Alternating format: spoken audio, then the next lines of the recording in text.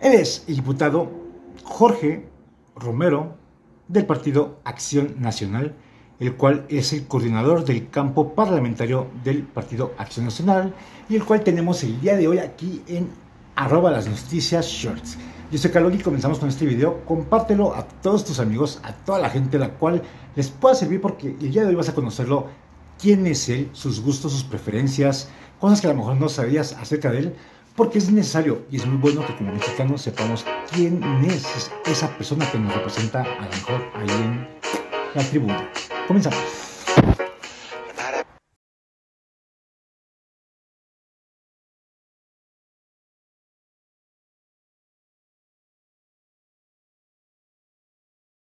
Comenzamos con esta entrevista. Yo soy Carlos y comenzamos nuestro video. Arroba las noticias short, hashtag LNSS. Suscríbete, compártelo y comenzamos con esta entrevista. Primera pregunta dice, descríbete en tres palabras. ¿Quién es Jorge Romero en tres palabras? Mm, eh, yo me considero una persona confiable, un buen amigo y, me considero muy trabajador. ¿Qué significado tiene para ti el día de hoy ser tú el coordinador del PAN? En- entender que un grupo parlamentario somos mujeres y hombres eh, pares, entre iguales, que todos tenemos eh, las mismas ideas, la misma responsabilidad y que liderar es coordinar los esfuerzos, no, no tratar de imponer la visión de nadie sobre otro, sino conjuntar.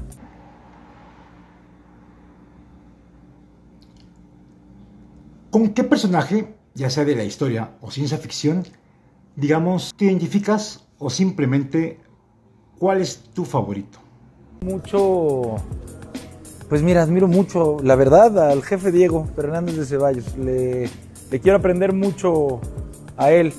Yo creo que ya es él un personaje histórico de este país. ¿Estarías dispuesto a tocar con tu oposición o digamos con la mayoritaria algún tema, algún objetivo para llegar a algún acuerdo legislativo el cual no haya un partido que los pueda diferenciar y puedan unir y juntar ideas las cuales puedan ser realmente útiles para el país y no para un partido?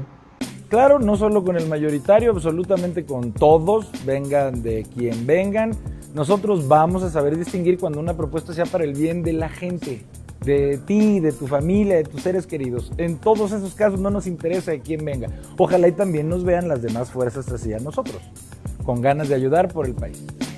Dime por favor tres temas, tres temas los cuales para ti, digamos, sean ah, de sumo interés, ya que pueden ayudar al país y realmente puedan hacer algo, algo que cambie nuestra historia como mexicanos. La salud de las personas, sobre todo de nuestros niños chiquitos y de nuestros abuelitos y abuelitas. Eh, por supuesto, su situación económica después de pues, el golpazo que fue esta pandemia. Y también la seguridad, que podamos estar en un país en donde podamos estar tranquilos, en paz, seguros y tranquilos. Ahora sí vamos a adentrarnos un poquito más a tu vida, simplemente para que la gente te conozca, tú representas, ellos sepan con quién están. La siguiente pregunta es, ¿sabes bailar? Se supone, pero habría que preguntarle a mi esposa. Ok, ok, muy bien. Ya después le preguntaremos a la esposa. Siguiente pregunta dice, ¿cuál es tu red social favorita o la que más utilices? Yo diría que YouTube. Jorge Romero, ¿qué es lo que opina acerca de esto que es la paridad de género en el, en el Senado y en la Cámara de Diputados y ya hoy en día en el gobierno de nuestra República Mexicana? Que era algo que tenía que llegar desde hace muchísimo tiempo, es algo que llegó para quedarse. Eh, creo que no debe de ser solamente en el Congreso, sino literalmente en todas las instituciones del país. Creo en la meritocracia y que las mujeres con base en la meritocracia han logrado esta, esta equidad. Esperemos que deje de ser tema porque sea algo ya normal en nuestro país. Ok, y ahora platicamos acerca de tu comida. ¿Cuál es tu comida mexicana favorita? Toda, toda, absolutamente toda. Si pudieras regresar en el tiempo, dime a qué época te gustaría regresar y por qué te gustaría regresar a ella. Supongo que me hubiera encantado ver cómo decidimos los mexicanos independizarnos. Y pues para ver nuestro nacimiento como nación. Ahí. ¿Cuáles son los tres compromisos que tú y tu grupo parlamentario quisieran, digamos, inculcar o hacer para México? En correlación con lo que les acabo de decir, vamos nosotros a trabajar muy formalmente por la recuperación económica, por ver a todas esas personas que se quedaron sin un empleo, ver por la salud de las personas, que en este país no haya una sola persona que lamentablemente fallezca porque no se le pudo atender. Y vamos también eventualmente a ver por la seguridad, porque nos organicemos de adeveras, todos, de todos los colores, porque los jóvenes y las jóvenes en este país puedan salir al parque a la hora que quieran y estén tranquilos. Y sus papás de que van a regresar a sus hijos. ¿Cuál es tu serie o película favorita? tengo varias, diría que está entre, entre Corazón Valiente o Avatar. ¿Qué te gusta más? ¿Una playa o un pueblo mágico? Y si se puede saber, pues dinos cuál es ese municipio, ciudad que más te gusta.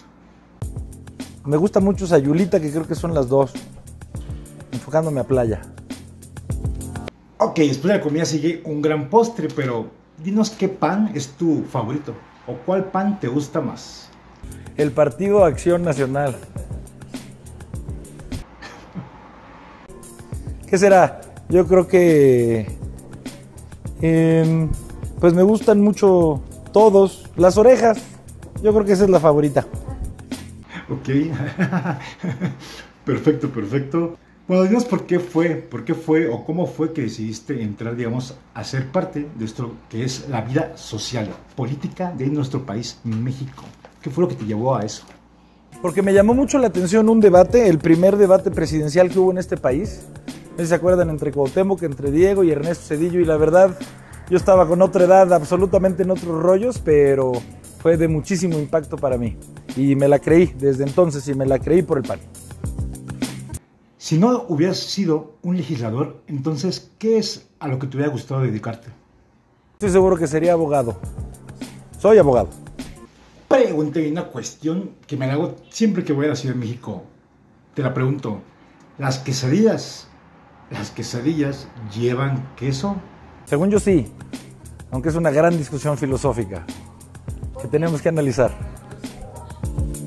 Simplemente te dejo aquí a este hombre, este señor, el cual es del Partido Acción Nacional y el cual a mi punto de vista y mis gustos yo creo que sería a lo mejor un buen candidato para la presidencia, ya que el tipo es sincero, firme, honesto y realmente se ve que le interesa el país.